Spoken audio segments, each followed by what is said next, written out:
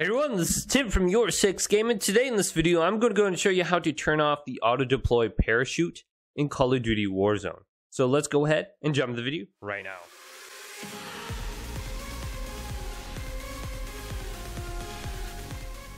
So if you're playing Warzone 2 and you want to turn off the auto-deploy parachute, this is very easy. Press Options, and then go on over to Settings.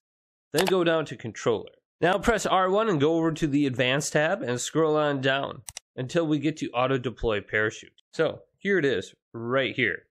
Parachute Auto Deploy. Turn this off. Now go back to the game and jump out.